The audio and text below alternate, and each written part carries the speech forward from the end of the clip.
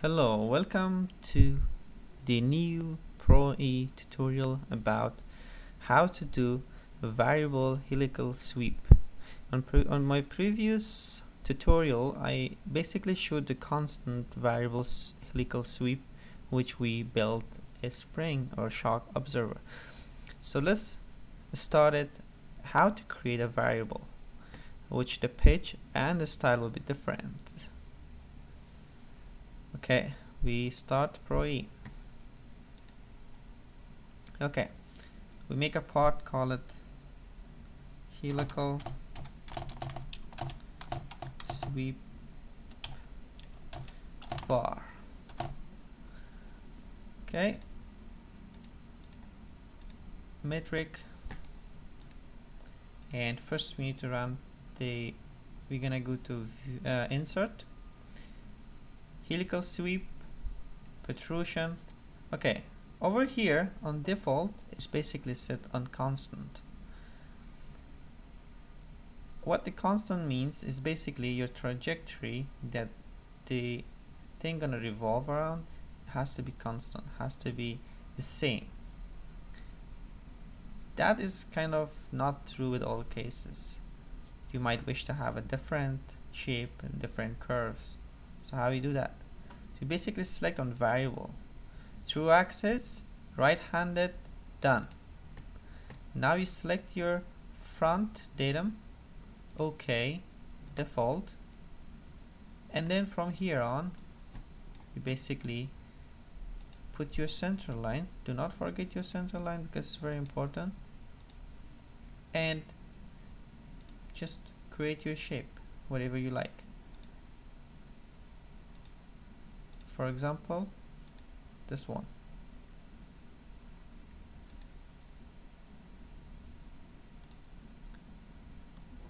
Okay. And let's edit some of the values by selecting all and hitting on here unlocking one value. Make that 25 okay and that must be 25 also. And okay from here to here. We set that to 50 okay so we're good. And uh, just make that 10 um, here is one thing that uh, to get rid of some of your lines crossed. Um, make sure these are tangent curves. And uh, 5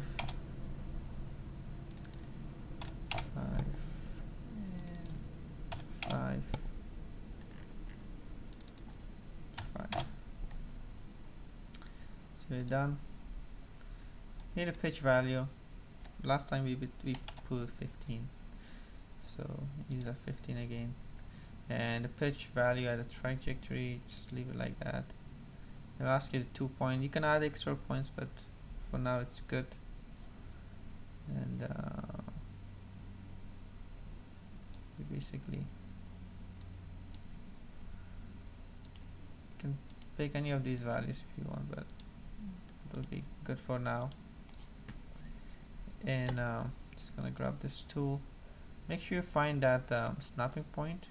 It's not that it's not that. It's down here it will tell you. Snap in and we draw that small rectangular box. And uh, you can dimension it if you want but not necessarily in this case. And uh, uh, let's make this to be 5 and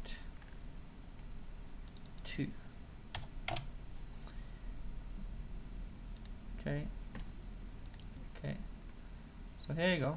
You got your um, variable helical sweep.